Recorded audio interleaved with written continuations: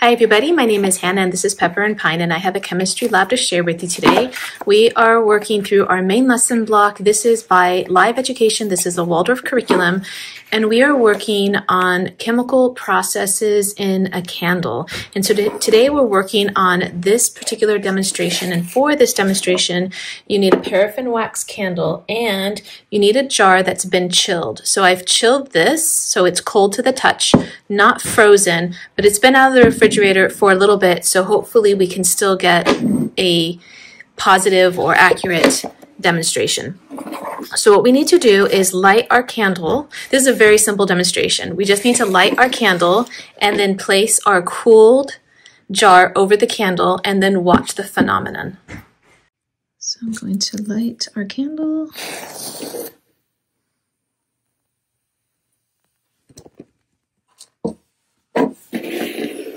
And then we are placing our jar over the candle, but we don't want to extinguish it. So we're going to rest it above so it can still get some oxygen in.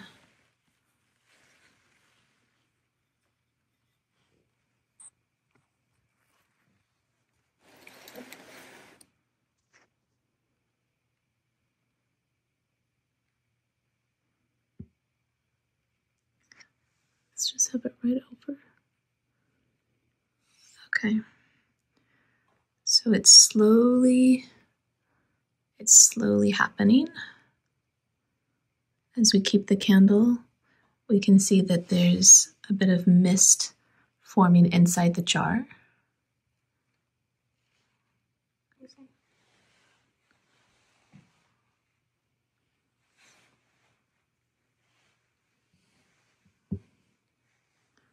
Oh, we have no, we don't have a droplet of water yet. But we do see a lot of mist sort of forming on the inside. So we're going to leave this a little bit and uh, do the demonstration one more time and leave the jar in the refrigerator a little bit longer or do the demonstration soon after it comes out of the refrigerator because we let it sit at room temperature a little bit too long. So we're to try it one more time. Okay, we've put it in the freezer for about three minutes. And now try it again.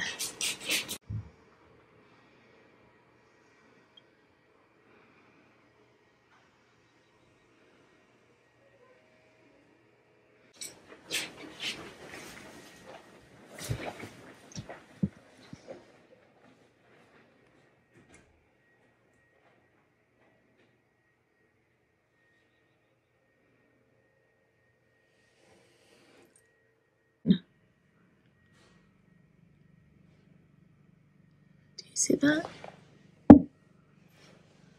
So that if you if you took your finger and you wiped it on the inside, you could um, feel like water moisture.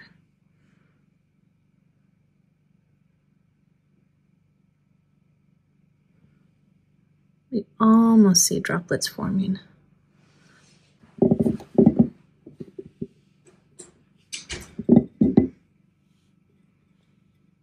Oh, there's some droplets on that side. It's very faint to see.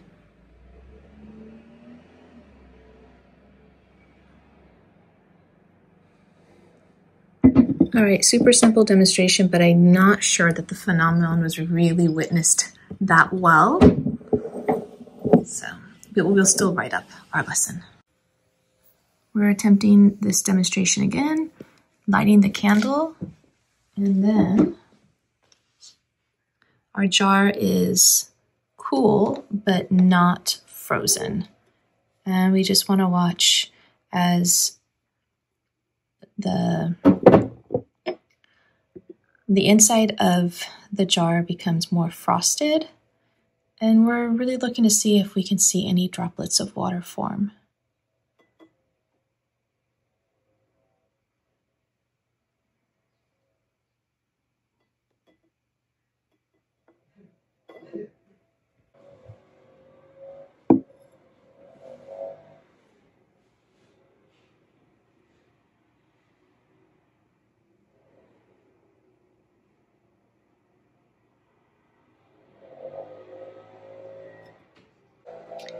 So there are the tiniest little droplets forming on the inside, but it is not easy to see.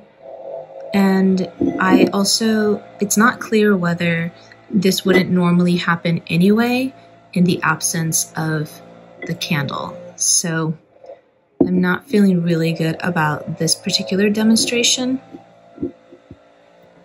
but we are still going to examine the phenomenon and write up a lesson for the main lesson book after we go over what's actually happening because there is some uh, moisture that's collecting on the inside and you can see, but I was hoping for a more visible demonstration where the droplets would be more noticeable.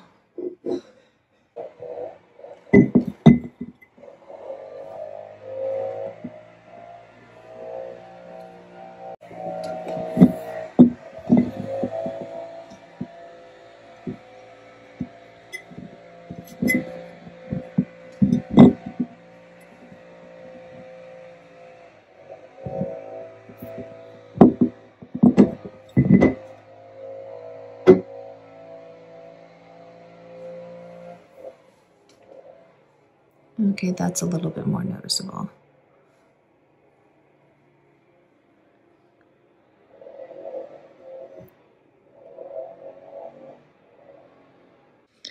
Okay, we're going to try this one more time because as I was doing the following demonstration, I found that we had a better way to experience the moisture in the flask. If the if the flask is actually at room temperature, it is a cool day, and so the in, the our inside temperature right now is about 63 to 65 degrees. But I noticed that when we were doing our next demonstration, we are able to see the water vapor a little bit more. So I'm going to light a match and I'm going to burn this match on the inside. And oh, right away, you can see the, um, the vapor form. So let me do that a little bit more.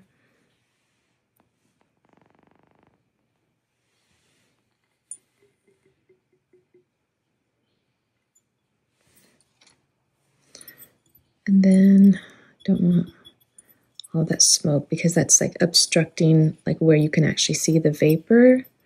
And that's not the vapor, but it's in here. So not quite the water droplets, but you can feel the moisture. And it's not the residue. We don't want to mistake the residue with the moisture. It's the moisture that feels um, moist to the touch. And so you can tell you can tell the difference. This is more of a residue right here. And that's going to like wipe off and sort of leave like some just it makes it look a little bit dirty but it's the moisture that when you when you're feeling it feels uh, more like moisture it feels it feels a little bit wet but there isn't quite enough in order to form the droplets and i think that's where if this container was chilled you could see the droplets more but we were not able to get those results. And I think part of it was that our opening for the mason jar was a little bit big, but this way you can really see that moisture um, form different from the residue. So we don't want to make, we want to make sure that we are noticing the difference between the residue and the moisture. And if it forms into droplets, it's easier to tell what was the moisture. We're going to try one more time with a larger flask that I'm going to chill for about five minutes in the freezer. Okay, so it was in the freezer for about three minutes, three to five minutes. And you can already see the, the condensation. That's why I'm finding it a little bit harder to really see it as well as when you are doing a flask that doesn't have anything that's not chilled, I should say, you can see the condensation a little bit better. And you'll know the difference in the condensation by how it feels, because that feels moist. So now let's try it. See if we can see that condensation a little bit better.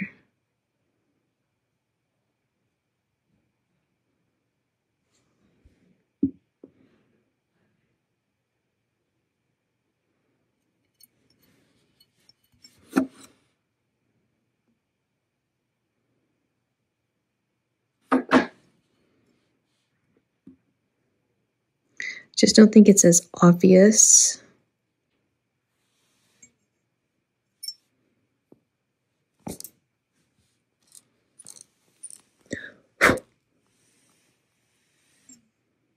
Oops. That's not working. Let's try that again. Yeah, I'm not having as much success doing it that way as when you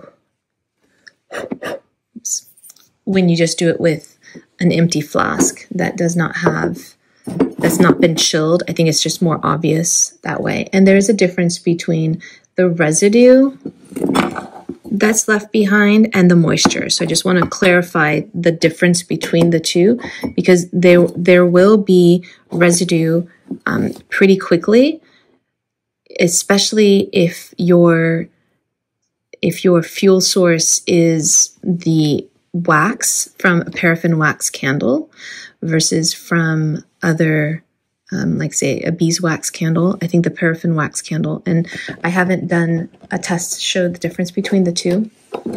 But my understanding, based on the chemistry and the lessons, is that with the paraffin wax candle, you will see that residue form. And to distinguish between the residue and the moisture is really how it actually feels and, and how it looks once you remove it with your finger.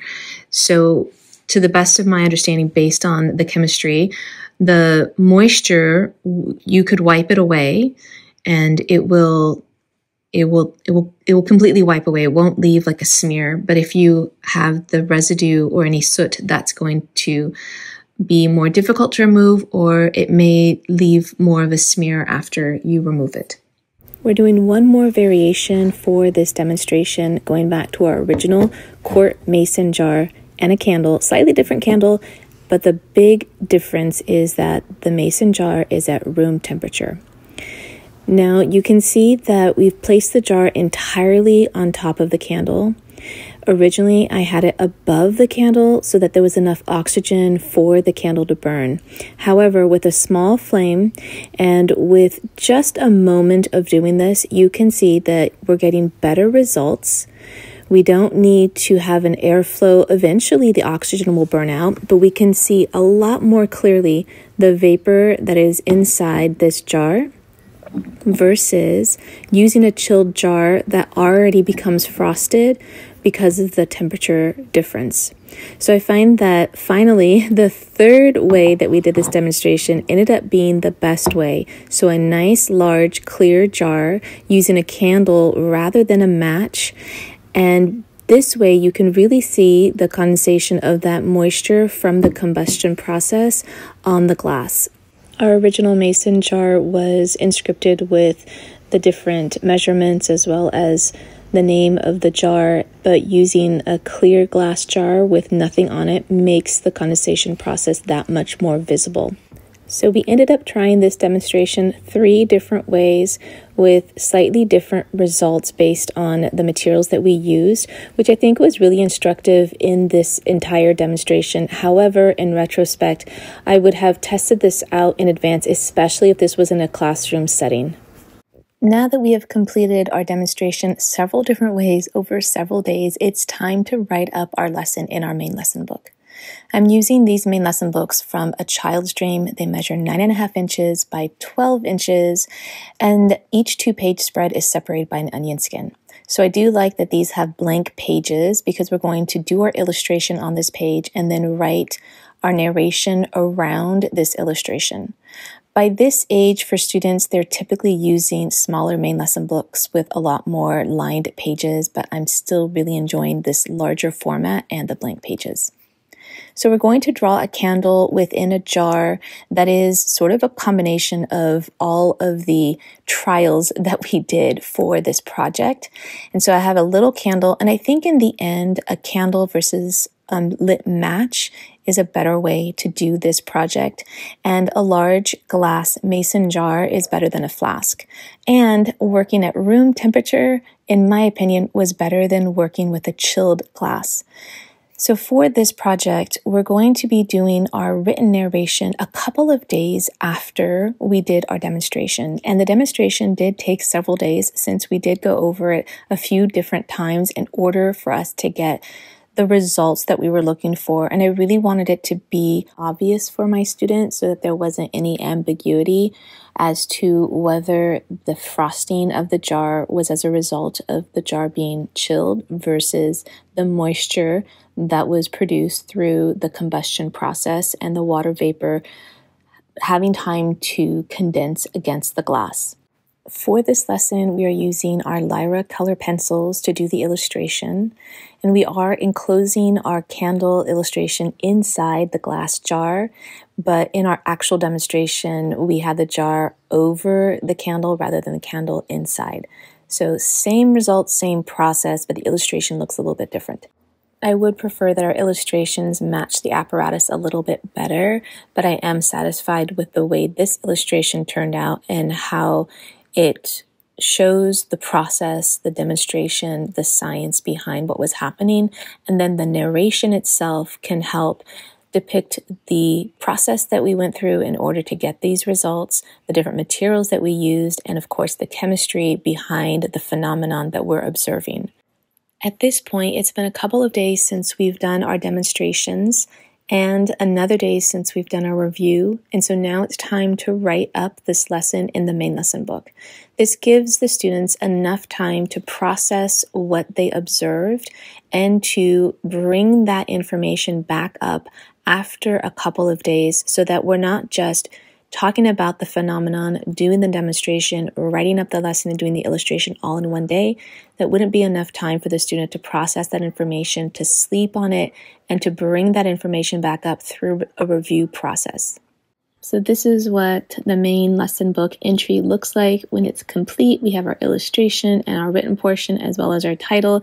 I'm really glad that these entries are only taking up one page. It makes the illustration a lot easier to do and we're keeping our narration quite short. I hope that you enjoyed this look at our chemistry lab for our main lesson block in chemistry. Don't forget to check out the blog post that accompanies this video where you can find more information about our chemistry main lesson block, as well as links to the materials that we're using and other tutorials. You can find the link to that blog post in the description box below. And if you'd like to see how we're homeschooling on a daily basis, you can find me on Instagram and now on TikTok at Pepper and Pine.